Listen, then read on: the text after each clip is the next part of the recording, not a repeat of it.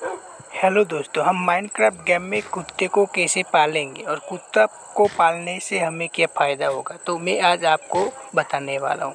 जो वहाँ लिखा हो, होता है टैम तो हम टैम पर क्लिक करेंगे तो कुत्ता हमारा पालतू हो जाएगा। सीट कहेंगे तो वो सीट जाएगा स्टैंड कहेंगे तो वो स्टैंड हो जाएगा।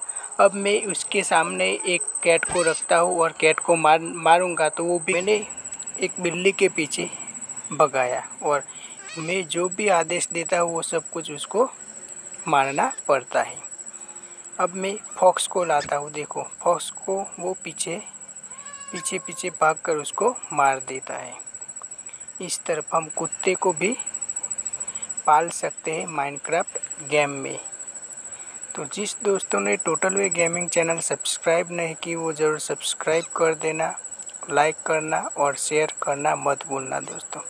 देखो फॉक्स के पीछे तो वो ऐसे पड़ा है कि आज फॉक्स का पूरा मौत आने वाला है। तो दोस्तों, उस कुत्ते को हमें बॉन खिलाना पड़ता है, तभी तो हमारा आदेश का पालन करता है।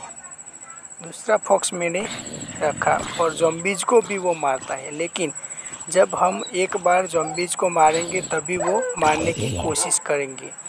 वो पहली बार नहीं करेंगे, हमारे आदेश का वो ज़रूर पालन करेंगे। तो देखो एक कैट को मैंने रन करवाया।